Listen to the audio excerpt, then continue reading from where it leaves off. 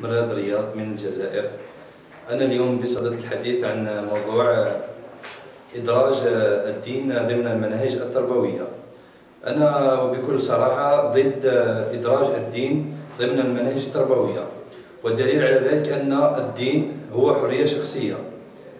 ولكل شخص ولكل فرد حرية اعتناق أي دين يعني الدين بصفة عامة. ناهيك عن الإسلام أو المسيحية أو أي دين آخر.